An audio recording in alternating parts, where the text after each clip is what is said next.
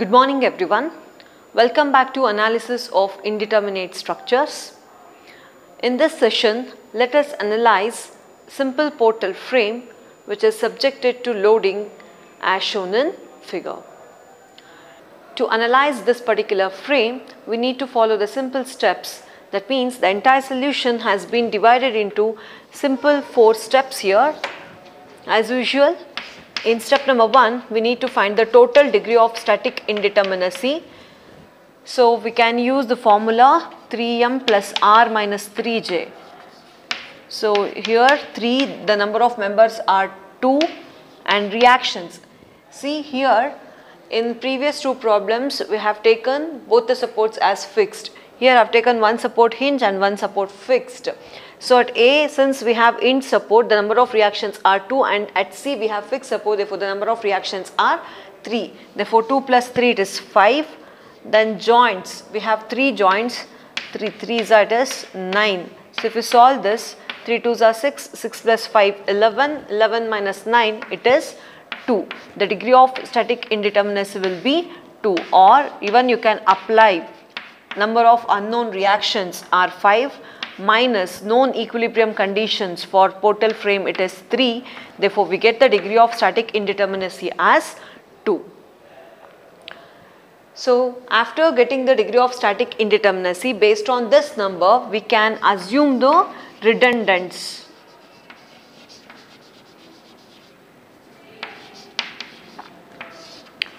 So I need to assume two redundants since I have degree of static indeterminacy as 2, I take off this support, hinge support and you can call this particular figure as given structure or given frame.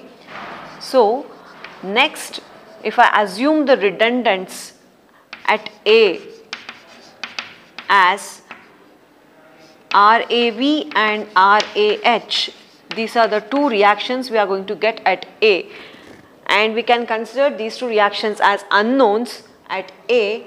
So, you can take off the support at A just to convert the given frame into a simple determinate structure.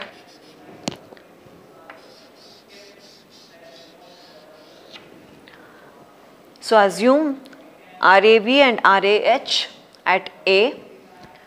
So, here the coordinate number 1 will be RAV and the coordinate number 2 will be RAH. This point is called A, this is B and this is C and this is D. As usual the other details like span, I details remains as it is. So this particular diagram is called figure B and you can call this as released structure. Even you can assume the redundants at support C also. My intention is to convert the given frame, indeterminate frame to a determinate structure and in doing so if we get the cantilever bent shape, the procedure will be simpler. That is why I have just removed support A here. So, here I am going to get RAV and RAH. So, you can mark this RAV as coordinate number 1 and RAH, RAH as coordinate number 2 and in figure C we can mark the coordinate directions.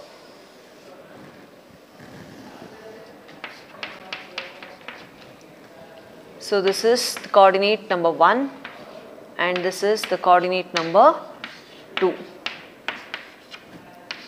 So, this shows the details of coordinate directions.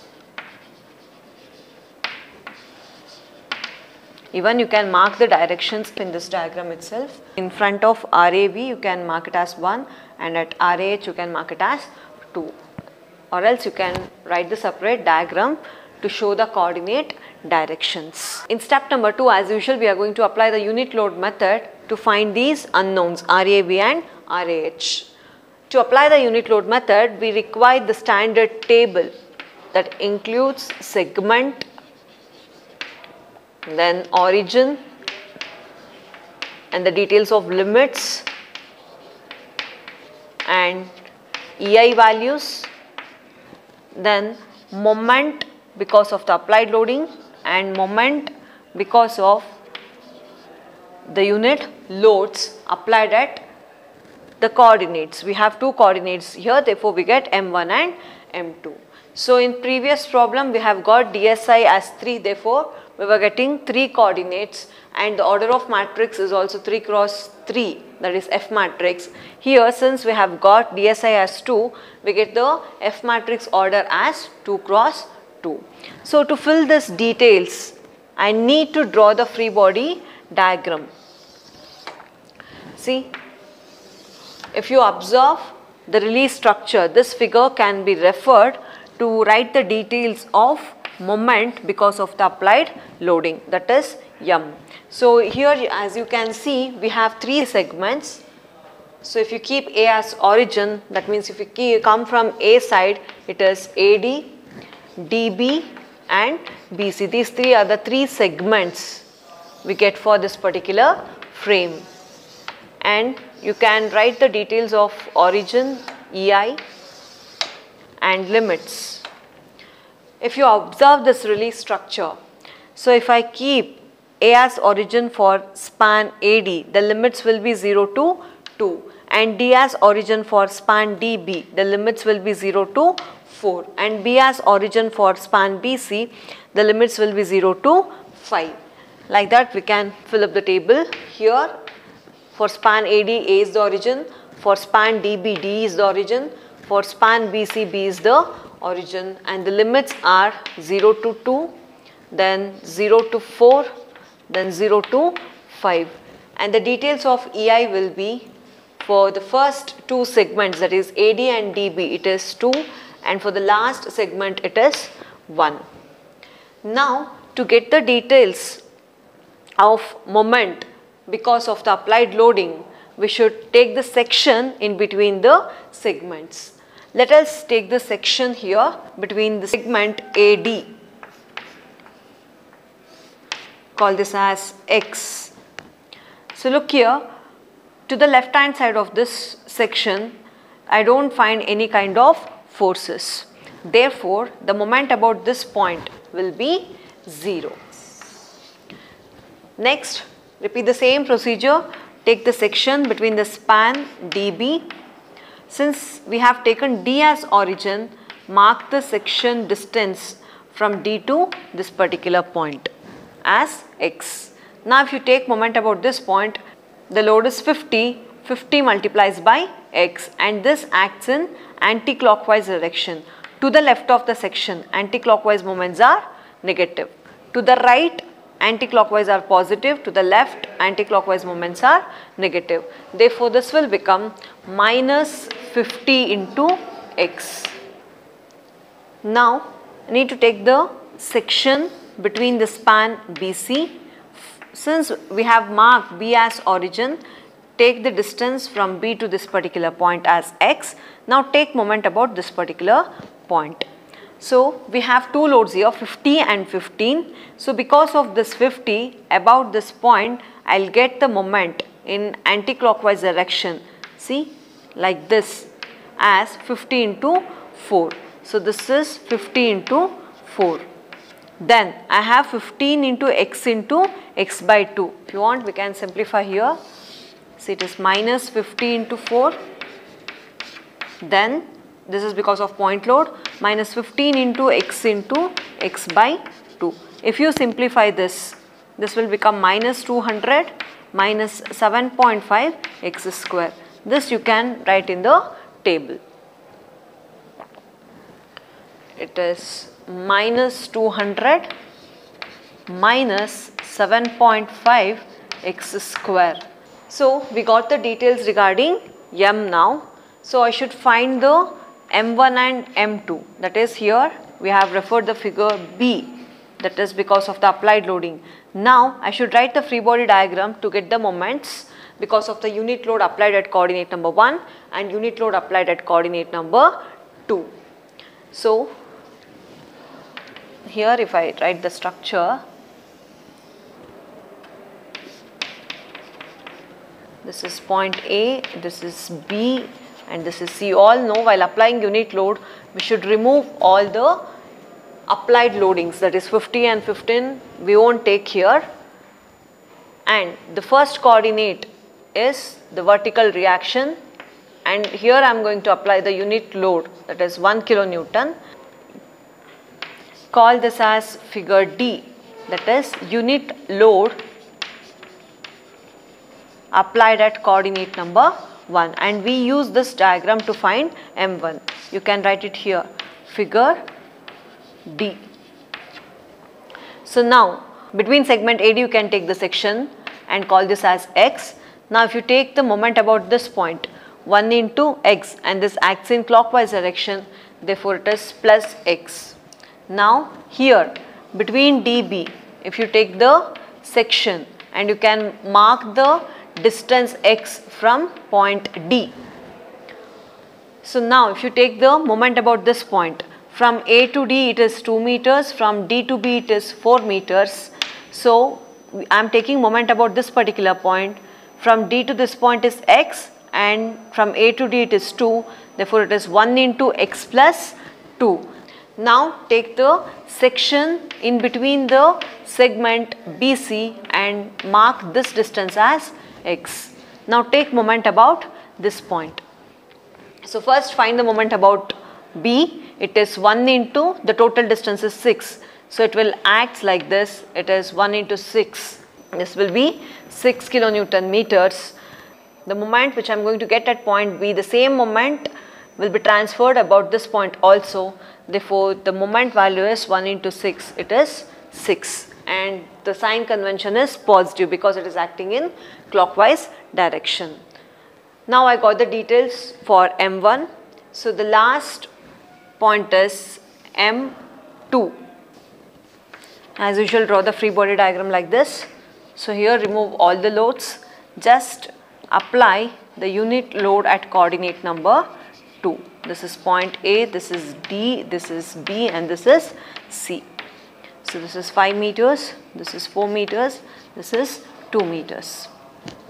As usual we are going to take the sections here between A and D. The distance is taken as x. Now take the moment about this point. Since the force is passing through the same line of action, the moment about this particular point is taken as 0. Now between the segment DB you can call this distance as x. Since we have taken D as origin, we should measure the distance from D. So, here also the force passes through the same line of action, therefore the moment is 0. Now, take the section between the segment B and C and call this distance as x. Now, from the principle of transmissibility, you can transfer this force here. So, this 1 kilonewton so 1 into x. So and its acts in clockwise direction. So it is plus x. So for M2 you can call this as figure E and this is the free body diagram to get the details of M2 because of the unit load applied at coordinate number 2. So here you can write it as figure E. So like this we can get the details of bending moment because of the applied load and unit load at different sections. So this completes step number 2. So if you recall in step number 1 we find the DSI.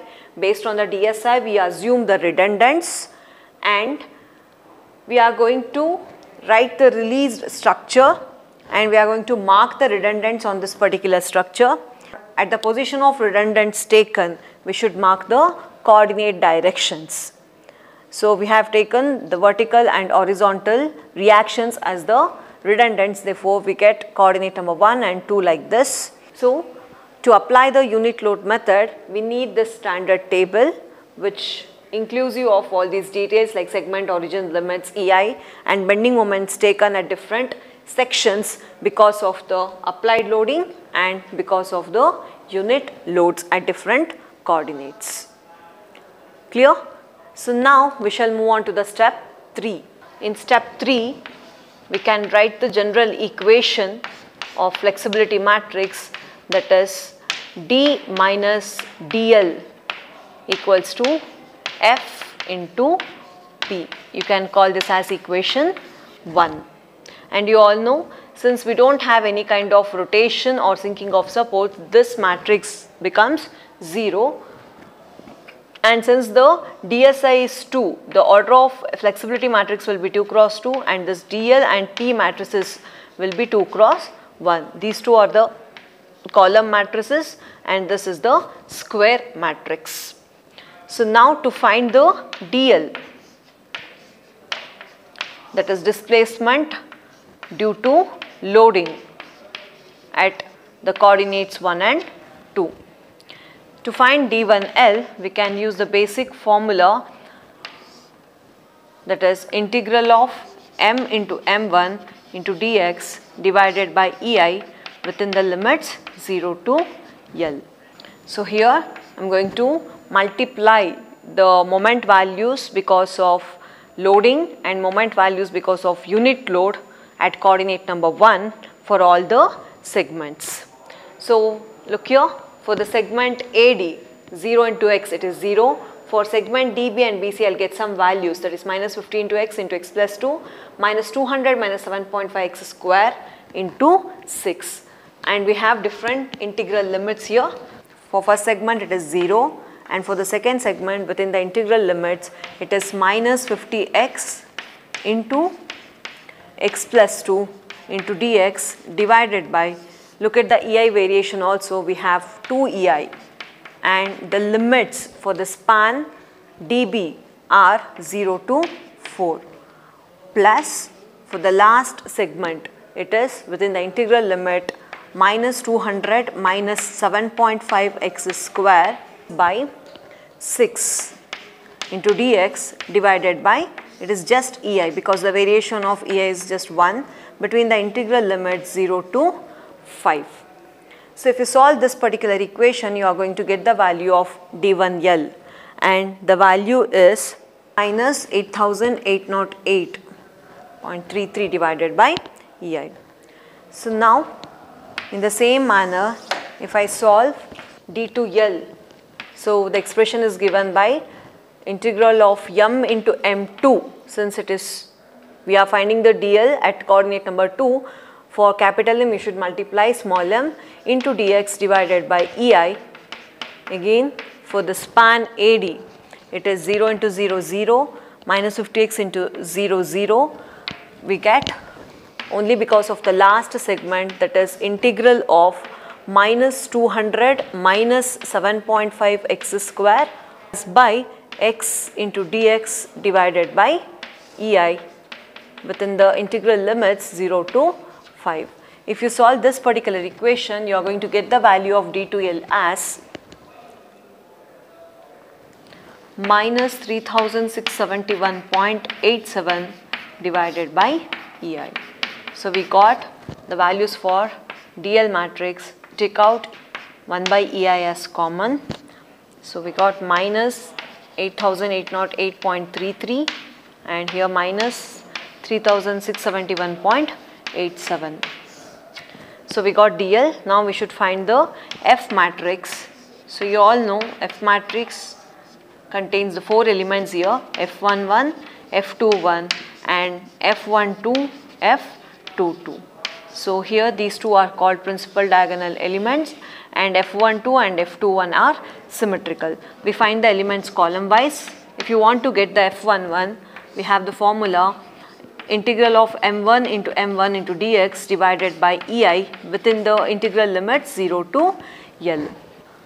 You know the definition for this F11. It is the displacement at coordinate number 1 because of the load applied at coordinate number 1 itself.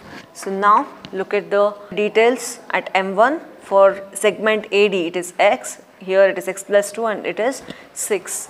For first segment it is integral of x into x it is x square into dx divided by 2 ei within the integral limits 0 to 2 plus integral of x plus 2 whole square into dx divided by 2 ei within the integral limits 0 to 4 plus integral of the last one it is 6 square into dx divided by ei. For last segment the ei variation is just 1 therefore it can take it as ei within the integral limits 0 to 5. If you solve this particular equation you are going to get the value of f11 as it is 216 divided by ei.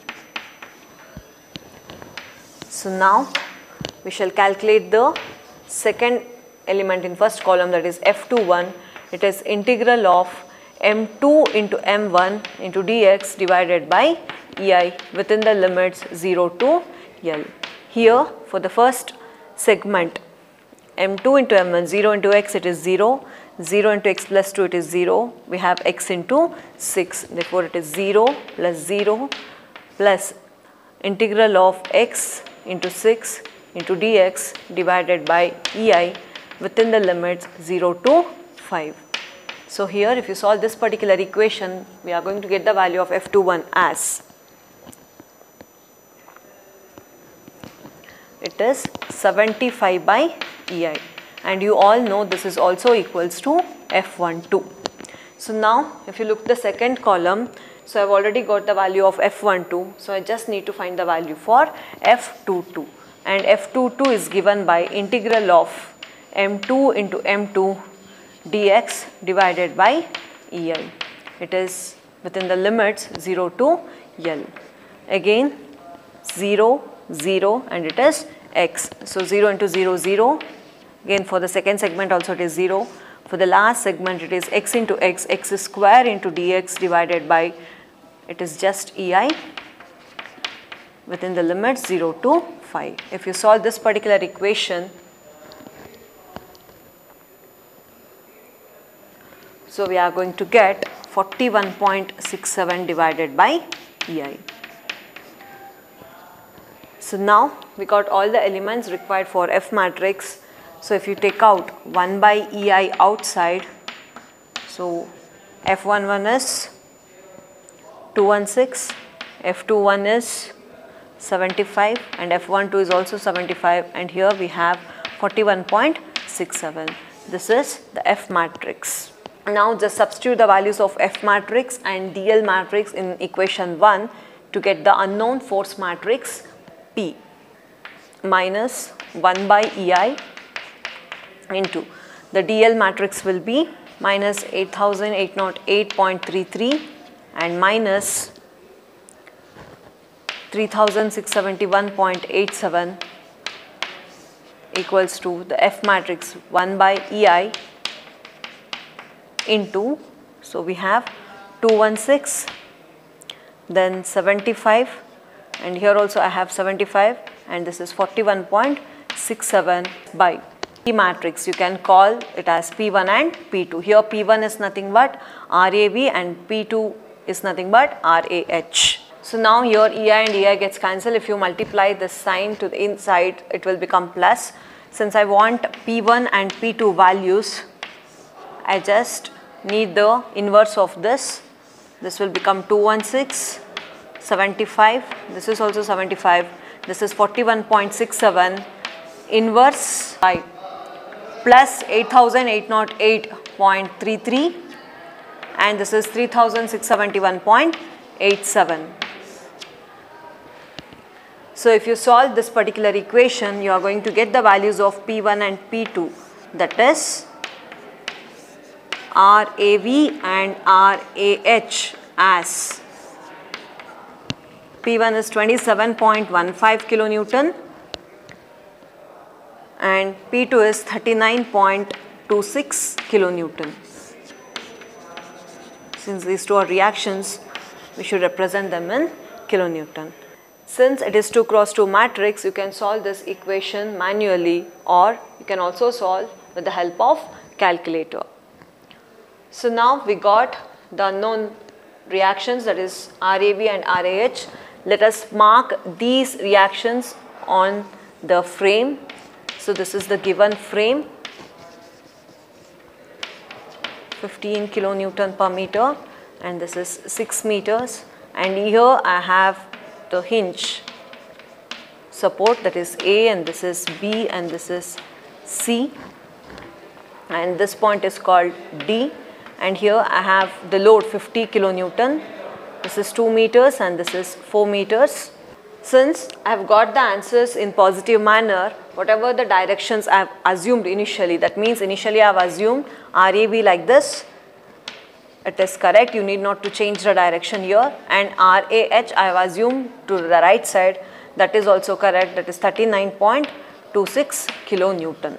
Now I need to find the final end moments here, that is moment at A, that is MAB, moment at B, MBA and MBC and moment at C that is MCB. You all know at hinge the moments are 0. Therefore, the moment at MAB is equals to 0. Now, I should find the final end moments with the help of static equations. For that, I need to draw the free body diagram of this individual span that is span AB and span BC. So, here we can call this particular step as step number 4. So look here, we know that at inch, at A, since the support A is hinge, the moment at A that is MAB is 0. I'll start from this span itself. So take span AB. So if you take span AB, so here I have the reactions 27.15 and this is 39.26 and the moment here it is 0 and I have 50 kilonewton load here. So this is support B that is joint B. So here I don't know the reaction call this as RB and here to balance the structure I get one more horizontal reaction as 39.26. This is 2 meters and you can call this as D. This is 4 meters. This is the free body diagram required. With the help of static equilibrium conditions, you can find the values. First I find this RB by applying summation of Fy equals to 0 upward forces as positive. So I have 27.15 acting upward acting in upward direction plus RB minus 50 equals to 0. If you solve this particular equation, I am going to get the value of RB as it is 22. 85 kilo Newton. Now take the moment about A, this is point A. Take the moment about A to find this moment. Here I don't know the moment value that is MBA. Mark this in clockwise direction. Therefore now take the moment about A that is summation of MA equals to 0 clockwise moments as positive. So I have 50 into 2 then plus MBA and minus RB into 6 clear? That's it. 15 to 2 plus MBA minus RB into 6 and we won't get moments because of these two forces. Because these two forces passes through the same point this equals to 0. I know the value of RB substitute here and solve. If you solve this equation you are going to get the value of MBA as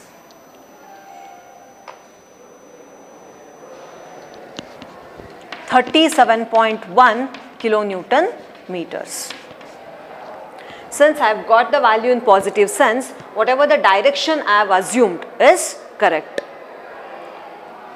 So you can mark the value of MBA in clockwise manner. Now you all know since B is a common joint for both the spans at B MBA plus MBC equals to 0. Therefore, MBC will be minus 37.1 kilonewton meters. So now you can mark the value of MBC on this frame. Since I have got the value of MBC in negative manner, just mark it in anti-clockwise. So here the moments are 37.1 kilonewton meters. Now let us take the last span BC to find the moment at C that is MCB. So for that we just need to draw the free body diagram of span BC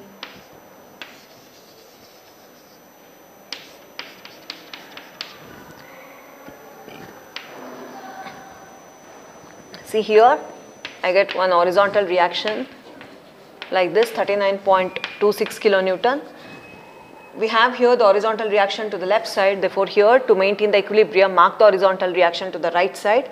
And the vertical reaction RB that is 22.85 will acts like this.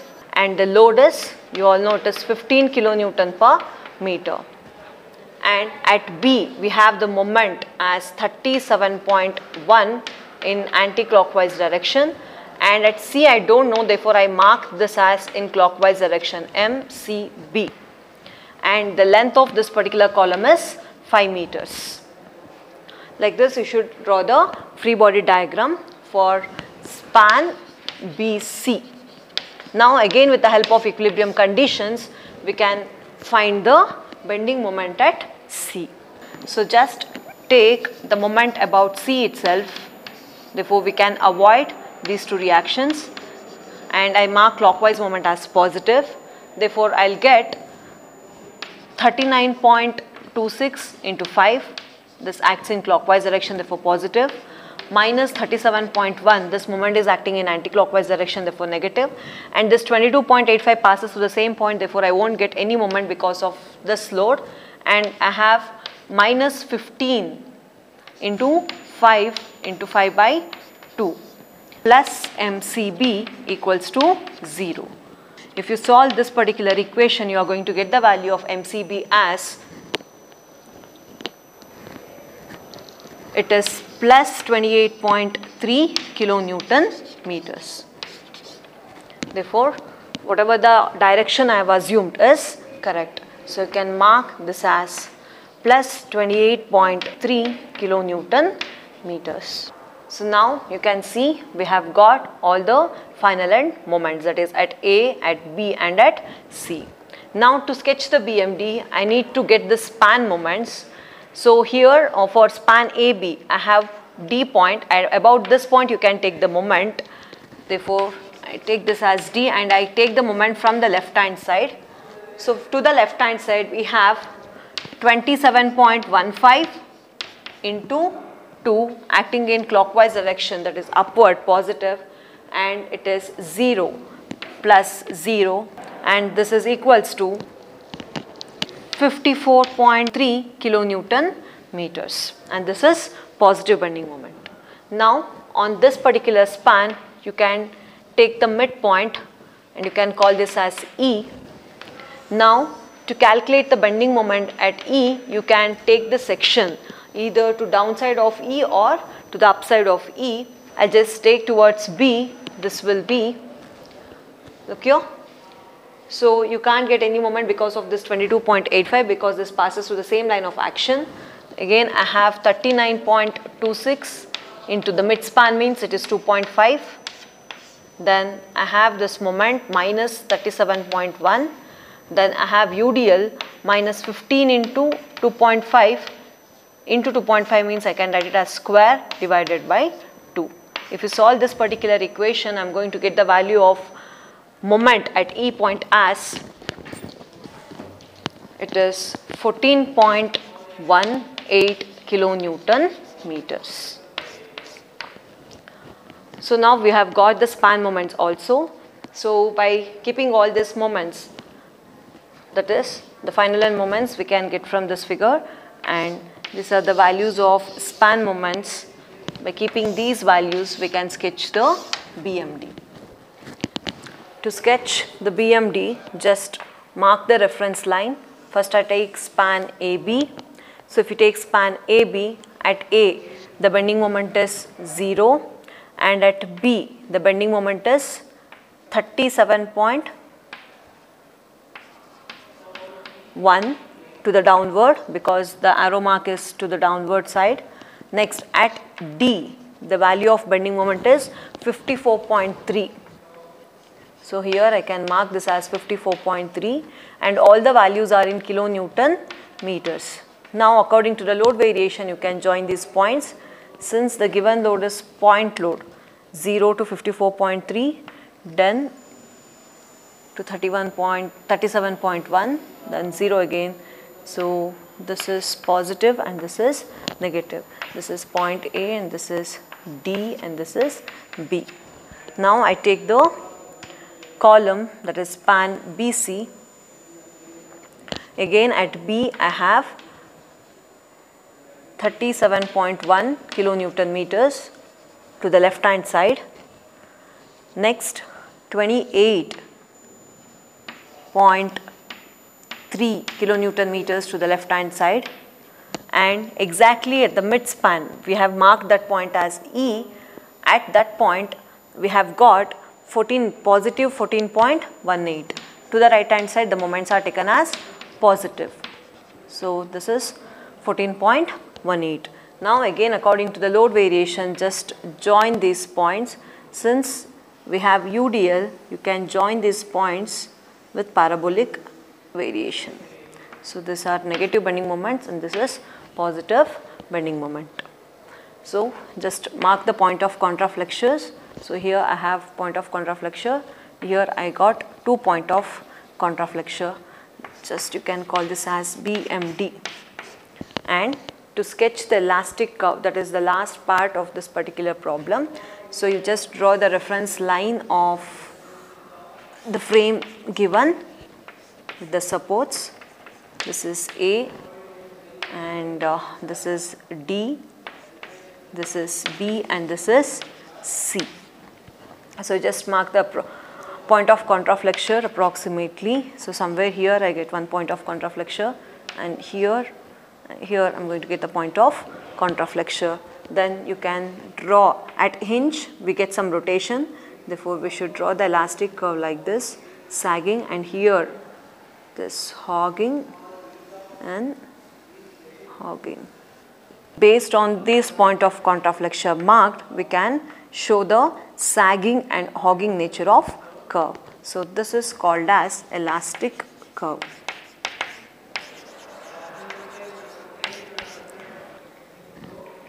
So, in flexibility matrix, the analysis of portal frame becomes simpler if you get the order of matrix as 2 cross 2. Even you can analyze the 3 cross 3 size matrix but it consumes little bit of time. Let us meet in the next session. Thank you.